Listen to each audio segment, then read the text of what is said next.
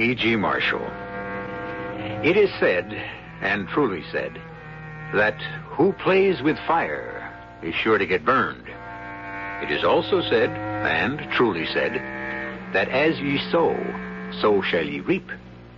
Seems to me there's another one, too. Oh, yes. The mills of the gods grind slow, but grind exceeding fine. Those of us who, through living, learn the underlying truth in these proverbs, take care not to play with fire, to sow carefully, and to give as little grist as possible to those grinding mills. Not so Kay Wylie. Devil may care, fun-loving Kay Wylie. You. You're going to kill me. Come on now, sweetie. What makes you think that? What other reason would you have for luring me here? Who lured you? You wanted to come? Wanted to be alone with me? Didn't you? No, uh, yet I, I don't know. I do, sweetie. Your trouble is you can't make up your mind.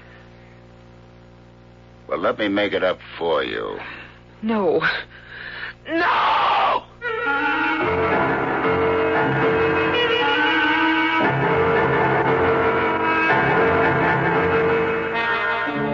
Our mystery drama, Death on Skis, was written especially for the Mystery Theater by George Lowther and stars Rosemary Murphy and Larry Haines. It is sponsored in part by Anheuser-Busch Incorporated, Brewers of Budweiser, and Buick Motor Division. I'll be back shortly with Act One.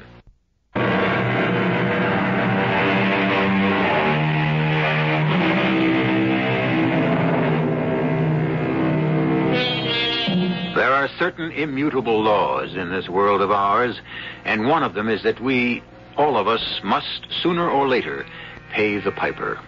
A simple law, easy to understand, not too difficult to obey, really. And yet there are a good many who never seem to understand it, and rarely, if ever, obey it. Until too late.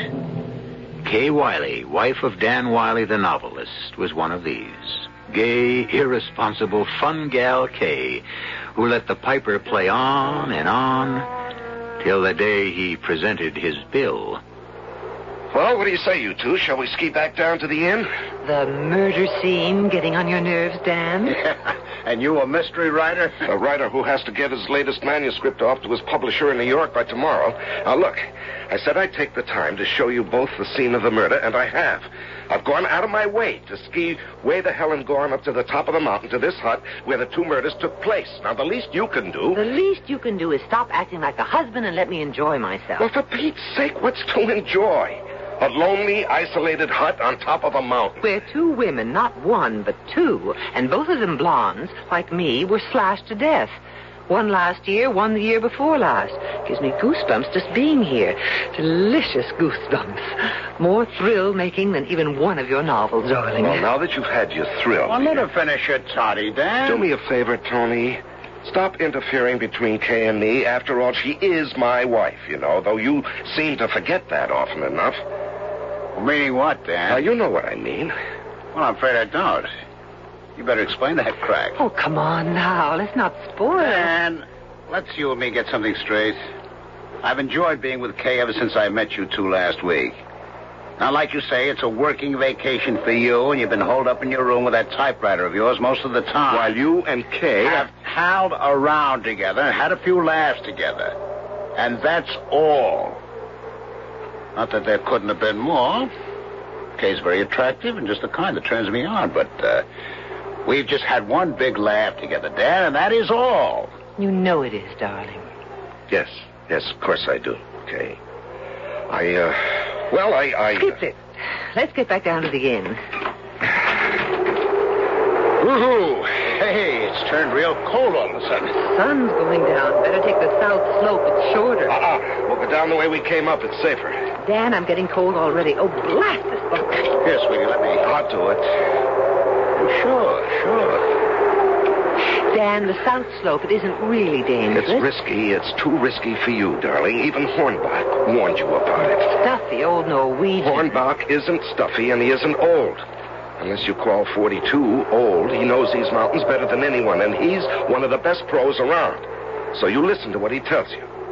There you are, all set. Last one back at the inn buys the hot toddy. Okay, I said not the South Slope. Stop worrying, darling. I'll be okay. I might have known. Tell her not to do something, and you can bet on her doing it. Uh, uh, There's no harm in it, Dad. She just likes to do her own thing. Yes, and one day, One day what? she may do it once too often.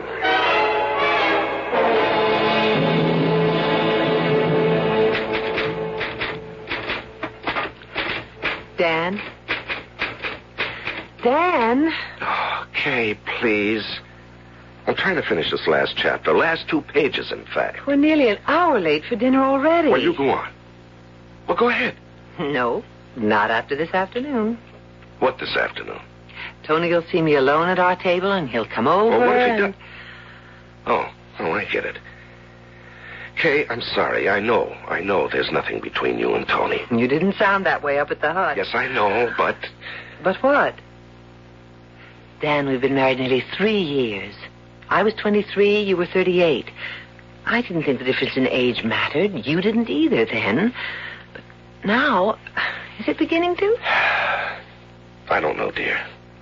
Somehow I seem to get older while you get younger. I'm not getting any younger. Well, you certainly don't act any older. You're as reckless and as irresponsible as, uh, as, uh, what's the word I want? Spoiled?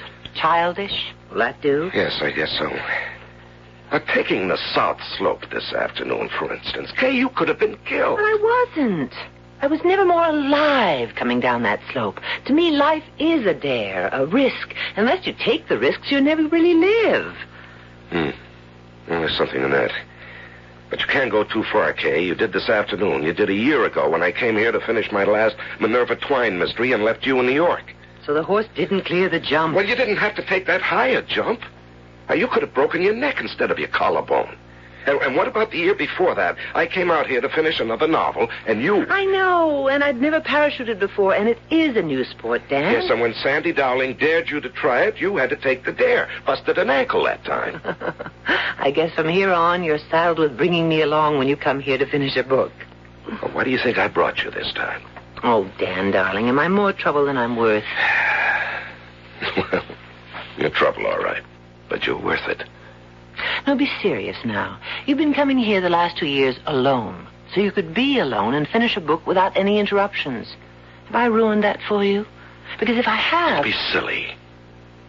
It's been wonderful having you with me, Kay. And see, less than two pages to the end. I'll mail the finished manuscript off tomorrow, right on schedule. And then, sweetheart, the handsome Tony Shaw will have to find another playmate. Because I'll be your playmate from then on. Oh, Dan, I love you so. We'll just build that up into adoration.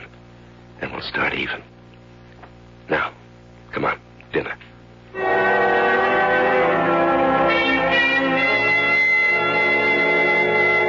Indian Wells, Dan, all the way to Indian Wells just to mail a manuscript? What do you mean, just to mail a manuscript? It's Dan Wylie's latest Minerva Twine mystery. Yes, but the round trip to Indian Wells, it takes at least half a day. Why not mail it from the inn here? Well, that's too chancy, Tony. Indian Wells is a good-sized town with a good-sized post office. And they... Oh, Otto. Otto Hornbach. Come and join us for coffee. No, I thank you. Oh, come on. Sit down. I said no. Well, what's happened to our jovial ski pro? Something soured you, Otto? I know what soured him.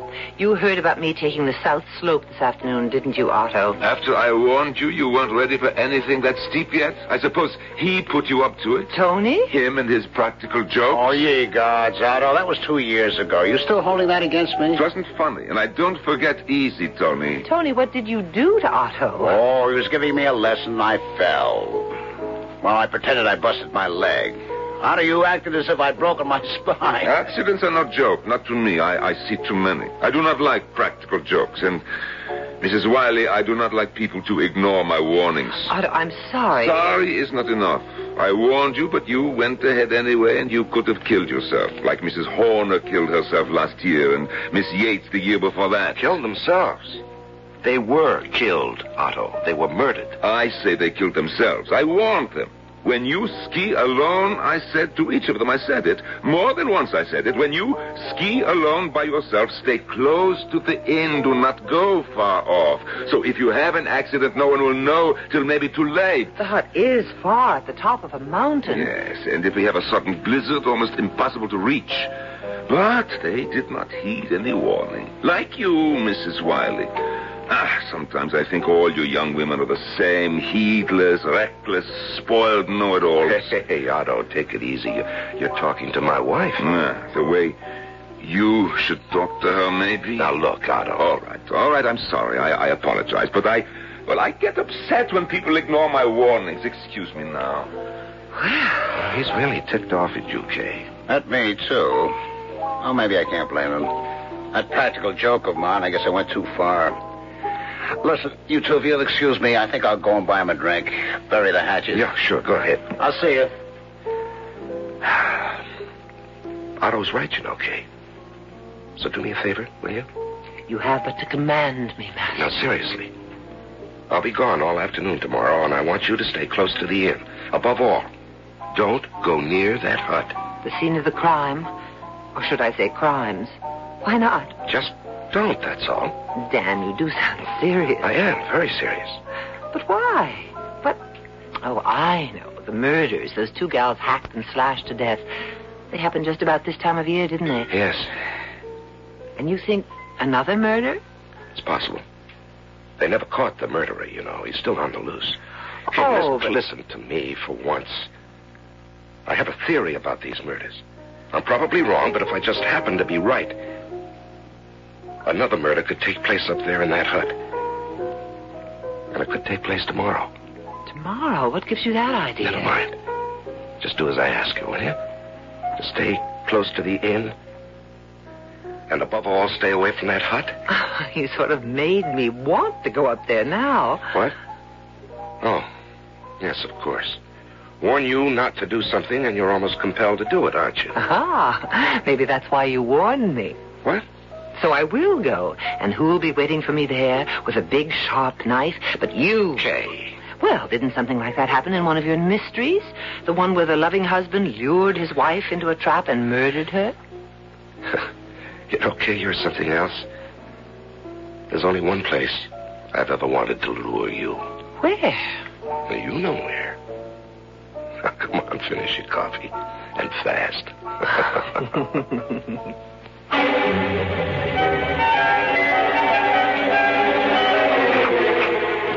Oh, ho. Oh, I hope Otto wasn't right last night. Otto, right about what? Oh, about skiers getting caught up here on top of the mountain in a sudden blizzard. I'd say there's one coming from the look of those clouds out there and the force of the wind. Not to worry. If it starts snowing, we'll start right back down. On the south slope, no doubt. No doubt. How about opening the thermos and letting me have a hot toddy? I can use it. Oh, me too. Just being in this hut is enough to chill you. Because a couple of murders were done here? That scares you? Oh, I didn't say me. I said you. Doesn't scare me. Oh, maybe it ought to. Here, hot toddy. Thanks. Why? Hmm? Why ought it to scare me? Well, you told me uh, Dan warned you not to come up here to the hut while he was away. Right? Right? Because he thought another murder, murder number three, could take place today? Right? Right? Well, could be Dan knows something we don't know. Could be another woman, another blonde, is going to be slashed to death today. me? You. What have I got to worry about? I'm with you. Precisely. What? I said precisely. You're here alone, far from the inn, in a hut that's been the scene of two murders, each at this time of the year.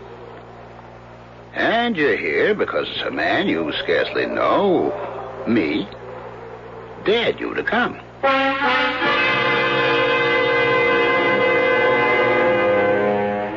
As I said earlier, the piper must always be paid. I can't help wondering if Kay's piper isn't asking for payment now. Payment in full. I'll return shortly for Act Two.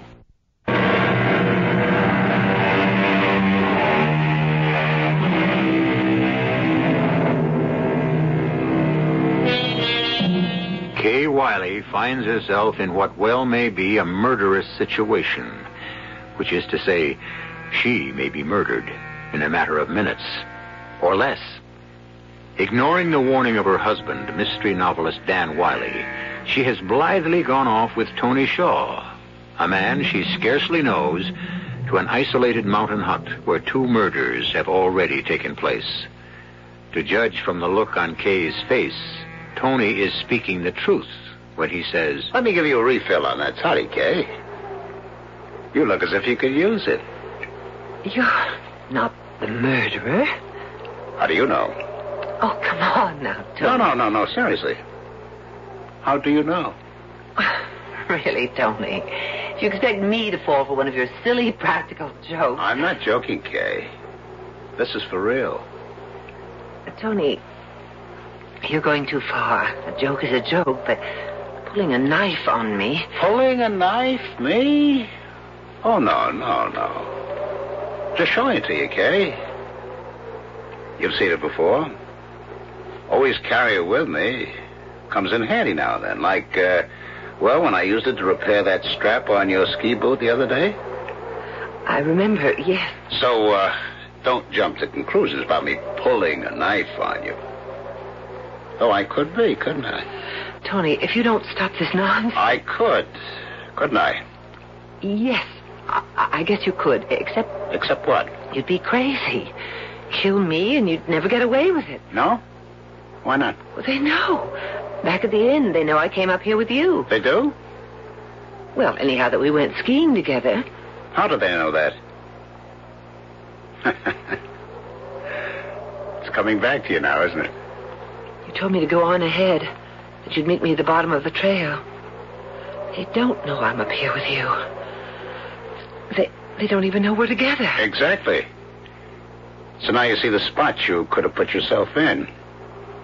You could be dead right now. Murdered.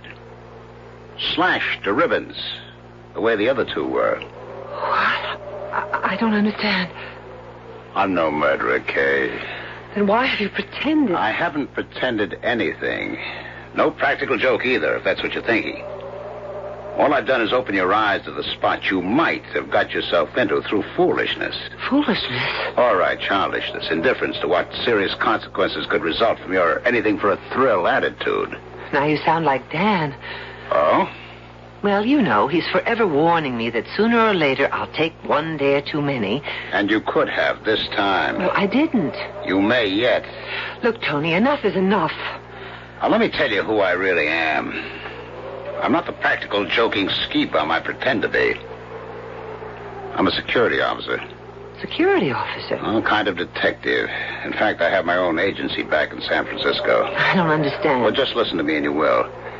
Back two years ago, after the first murder took place, the inn management hired me to find the killer. You? Why you? What about the local police? All the local cops are a laugh. It's just a sheriff and his deputy. The Indian Wells police came up with nothing. So they called me in. The management of the inn, I mean. And I'm afraid I blew it last season. The second murder was done right under my nose. But not this season. No, no. This time I'm just a few steps ahead of the killer. And that's where you come in. And where exactly is that, Sherlock? You're the bait. Oh, no. Not little Kay Wylie. Oh, yes. You're marked for death no matter where you are. Sooner or later, the man who murdered those two blondes in this hut is going to murder you. You. You sound as if you know who he is. I'm pretty sure I do. Who? Your husband, Dan Wylie. Tony, you're crazy. I wish I were. Dan's in Indian Wells. Right now in Indian Wells, mailing a. No? No. I could be wrong. But if I'm right, he never went to Indian Wells. Dan, Dan Wylie, gone to Indian Wells. Uh, no, no, Otto. I, But uh, I saw you leave an hour ago. Drive off in your car. I changed my mind. I was going to mail a manuscript to my publisher, but Halfway to Indian Wells, would you believe it, Otto? I suddenly thought of a different ending and a better one. Ah, this means you have to sit and write a whole new end? Yes, I'm afraid so. Oh, me, I would never be a writer. They work too Ah, hard. you better believe it. Seen my wife, Otto? Uh, she went off skiing not long after you left. Oh, anybody with her? No, she went by herself. And I tell you this, I warned her again to stay off the south slope. Yeah, well, you can save your breath, Otto. I know, I know. I'm telling you, lay down the law before it is too late. Show her who is boss, who wears the pants. Oh, it's nothing like that.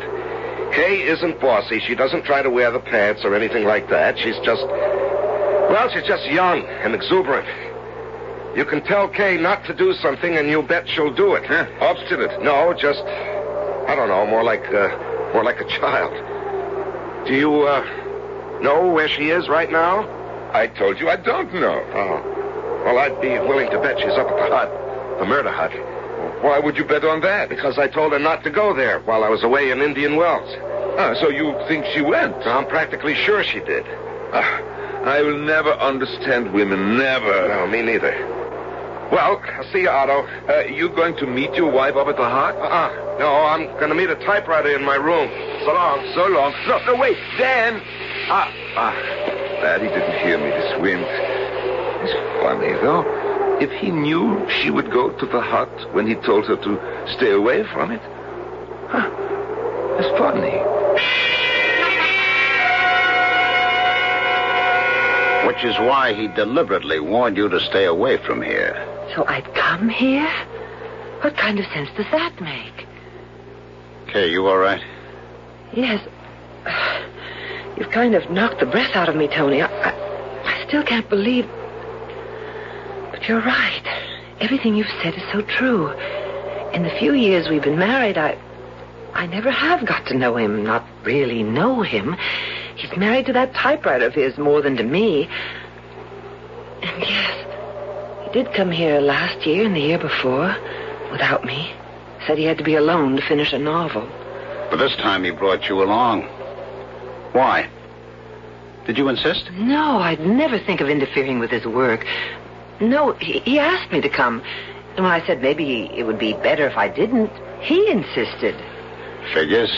But oh, I just can't believe.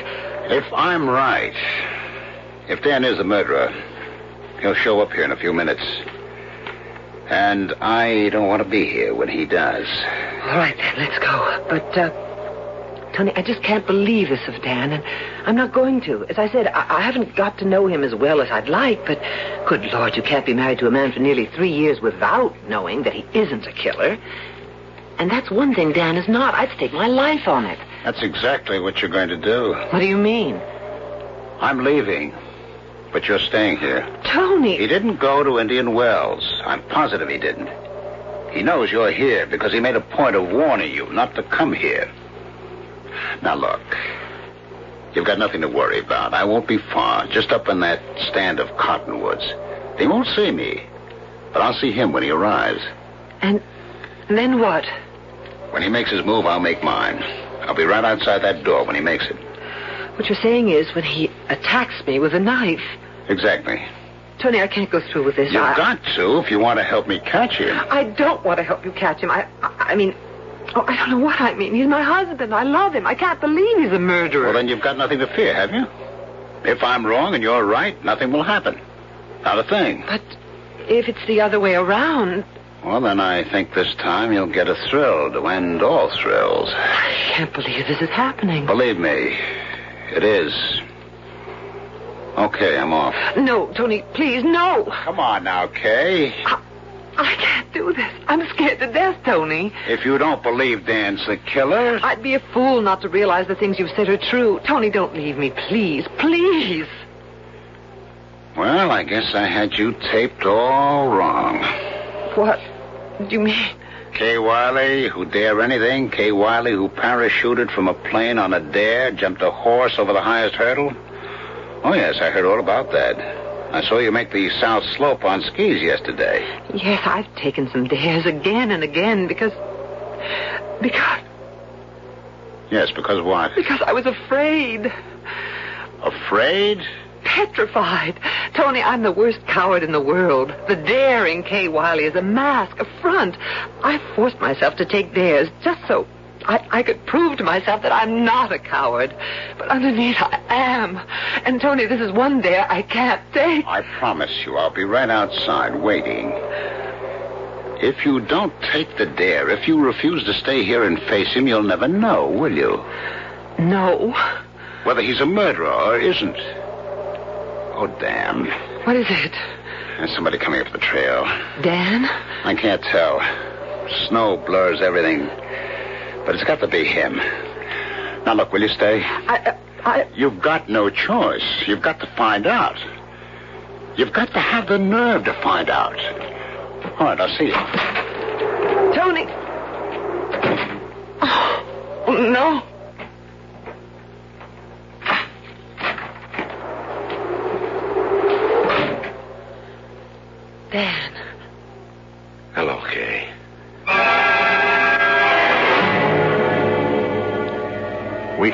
Imagine Kay's feelings as Dan Wylie enters the hut, proving Tony right. A curious situation. A woman facing the man she loves, her husband, not sure if he's a murderer.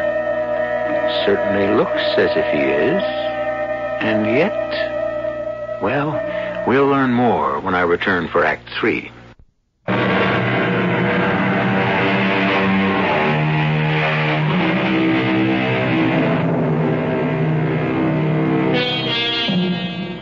You do? How would you feel? Your husband, the man you love, stands before you, and for all you know, has come to kill you. Indeed, cleverly lured you into a trap.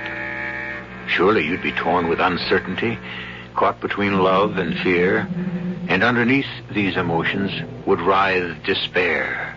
For if he is your killer, this man you love, you just as soon be dead anyway. I thought I'd find you here, Kay. I know. You know? I- I'm not totally naive, Dan. You knew when you warned me not to come that I would. Why the devil would I figure you would come when I begged you not to? Because I'm like the victim in your last novel, Death is a Blonde. You based that character on me, didn't you? I was the model for her. Okay. Okay, so what of it? Her husband knew she had a contradictory streak in her. I even remember the words you used to describe her. Contrary, as wayward as a child. And he used it to lure her to her death. Kay, things like that happen in novels, not real life.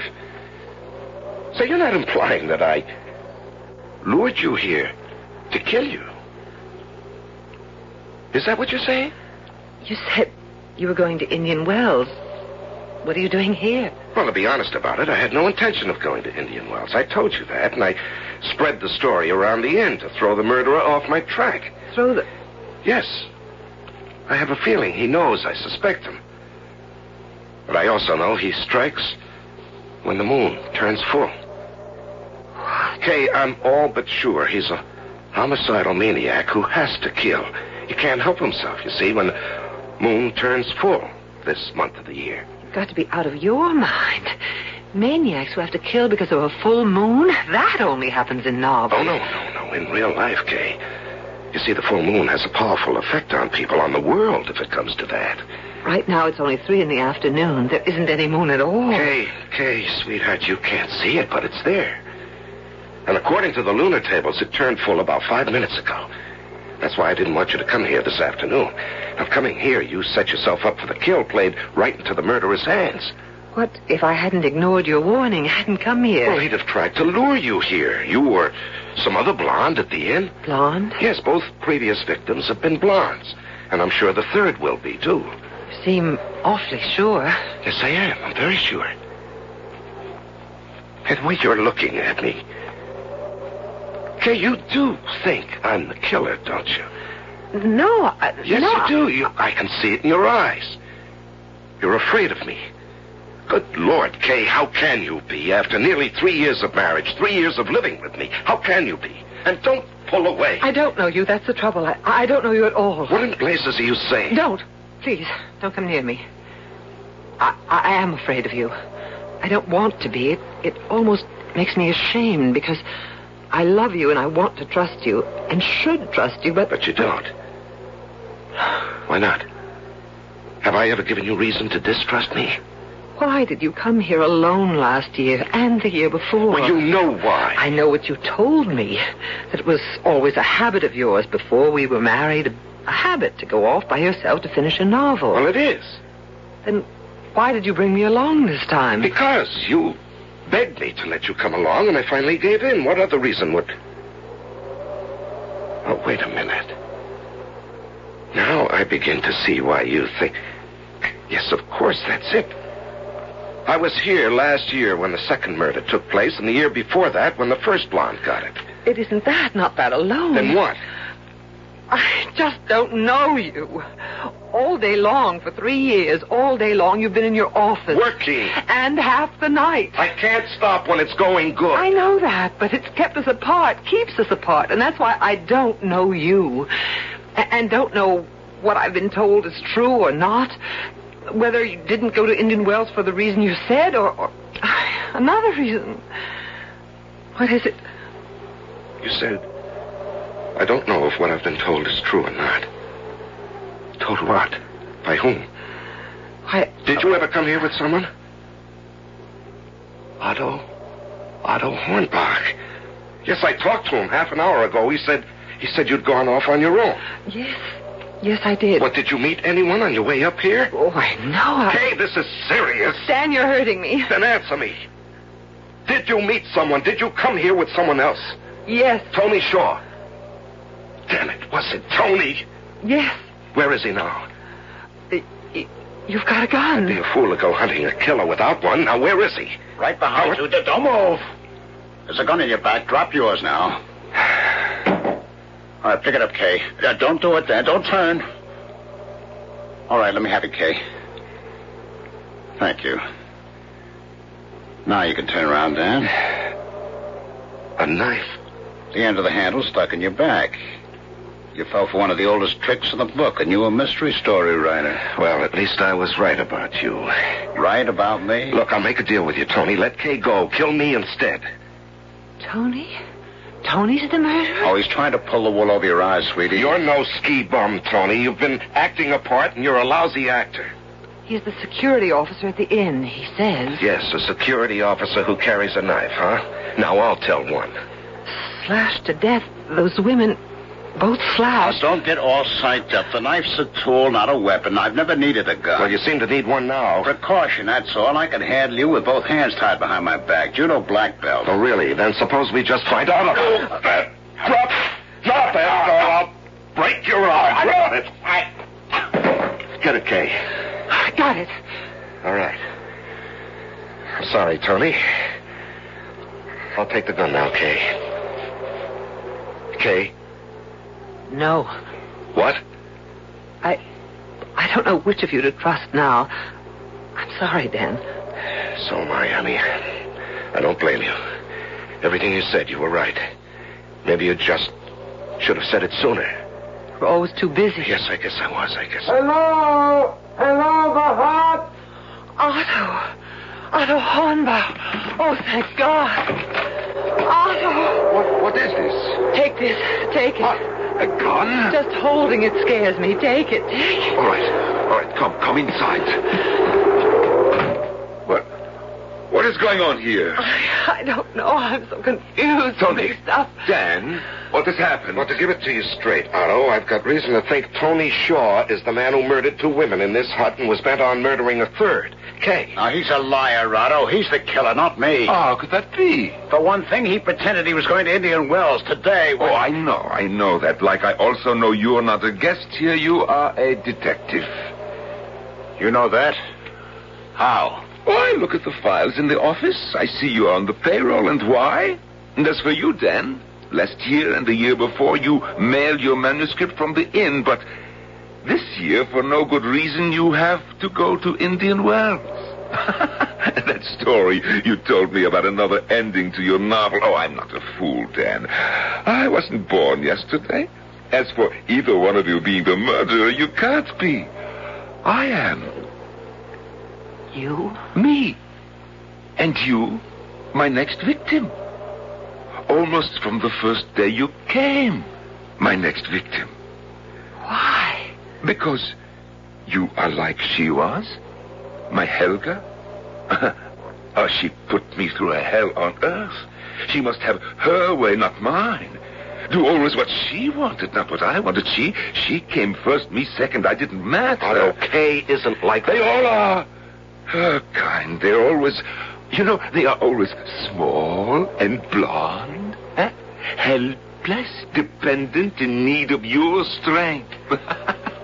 At first you're, you're taken in, poor little thing, so helpless, so dependent on you, so in need of your strength, your masculine strength, so you, you give it a little here, a, a little there, and gradually, so gradually, you don't know it's happening. You, you give her all your strength, and there's none left for you. You are caught. You are trapped in a web you thought was made of love, but is, is really made of, of, of, of what? Of, of, of ego. That's what they call it. Ego. The, the I, the I of I am this, and I want that, and nobody matters but me. Leave him alone. Let him talk it out. You, you are Helga. Me? Oh, not just you. At the inn, there are Helgas all the time. At least three or four each season. Spoiled, determined, pampered, coddled by fools. The husbands they are destroying as Helga destroyed me. Me. Or, or nearly did. I, I woke up in time and, and destroyed her. With a knife, Otto? It was handy in the kitchen it happened. And I I loved her. Even even when I was killing her and driving the knife home again and again. I I loved her. Isn't isn't that strange? You see, so now now I I I must kill you like Mrs. Horner last year and Miss Yates the year before that. Kill you. You see, to save him. Otto, Otto, I don't need saving. Dan, you can't handle this. Neither can Tony. Only a woman can handle this, if it can be handled. You see, you hear what she says. Only a woman can handle it. Oh, spoiled, spoiled, rotten. No, Otto, scared. Scared rotten. The way Helga was, and Mrs. Horner, and Miss Yates. Scared. Mrs. Horner, Miss Yates. You? And Helga. Oh, no. No, that is not so. She had me trapped. Because she was afraid of what would happen if she didn't trap you. Otto, she trapped you because she loved you and was afraid, afraid she might lose you. Lose me? To. to who lose me? Another woman. Another. But. Oh, there. there were no other women. There are always other women. Which of you first? I'm sorry, but you must die before I kill her. Not witnesses. I cannot have witnesses. For God's sake, Otto, didn't you hear what Kay said? She just told you a simple truth, a simple, womanly truth. A woman traps a man because she loves him, and she's scared to death of losing No, him. she lies. Like all women, she lies. All right, which, which one first, huh? Tony? Dan? Me. Hey, what in blazes are you I'm doing? between you now. Between him and you. You'll have to shoot me first. When he does, jump him. And I thought you said you had no nerve. Get out of the way. Hey, please. Jump him when he fires. Well, go on, Otto. Shoot. Get out of the way. You, you, I must kill with the knife. Sorry. Change of plan. A gun this time, Otto. A gun or nothing. Give it to me. Or shoot. Another step. One more, and I kill you. You're going to kill me anyhow, so what have I got to lose? Give me that gun. No, wait, wait. What? Kay. Kay, it works both ways. Now get out of his way. Let him shoot us first. That'll give you a second or two to get out that door. And leave you here, dead? Do you think I'd want to go on living? Out of the gun. You, you, you mean it? You mean what you say? Of course I mean it. Why else would I? But I, I don't understand. You, You would give your life to to save his? No. Oh no. This is not possible. Women are oh no, they are selfish. They come first. Always they come first. All of them. Not all, Otto. Not every woman is like your Helga must have been. I I was wrong about Miss Miss Yates, Mrs. Horner. I don't know about them, but you're certainly wrong about me. Wrong. Wrong. Oh no!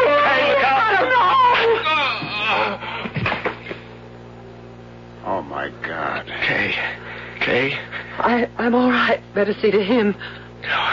Crazy, crazy. Shot himself. Dan, is he... No, no, he's breathing. And we'd better get him down to the inn fast. I'll give you a hand. Kay, Kay, sweetheart. You saved our lives. Believe me, from here on, you can take all the dares you want, and I won't say a word. You won't have to, Dan. There aren't going to be any more. I just took my last.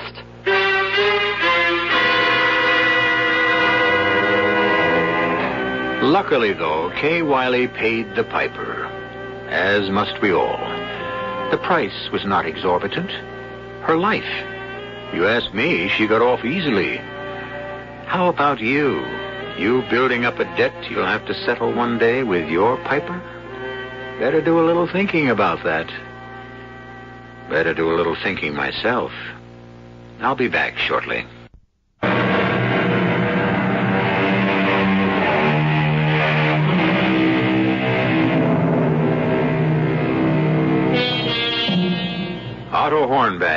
Want to know, lives comfortably today in a rest home. Tony Shaw is back in San Francisco. As for Dan and Kay Wylie, well, Kay doesn't take any dares anymore. She's much too busy bringing up the twins. Dan continues to be a very successful writer of mysteries.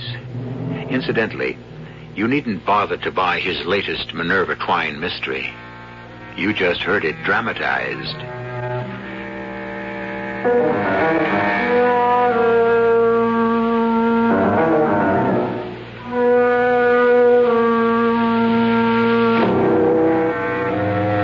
Our cast included Rosemary Harris, Larry Haines, Ralph Bell, and Norman Rose.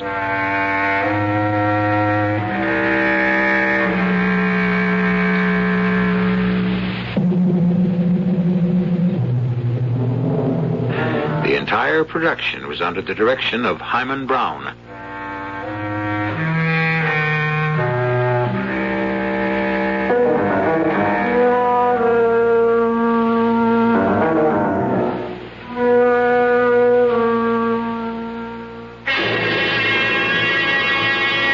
And now, a preview of our next tale.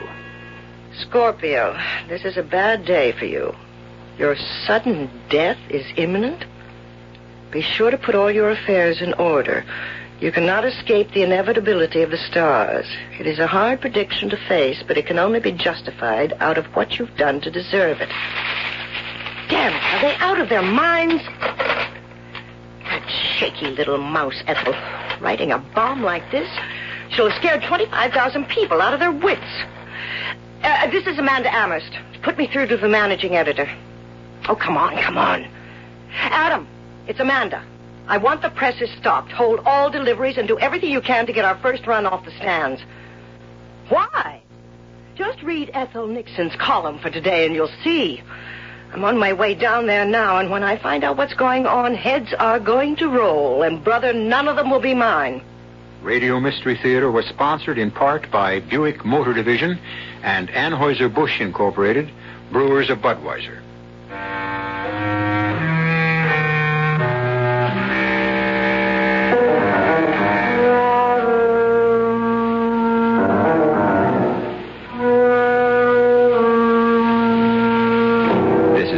Marshall inviting you to return to our Mystery Theater for another adventure in the macabre. Until next time, pleasant dreams.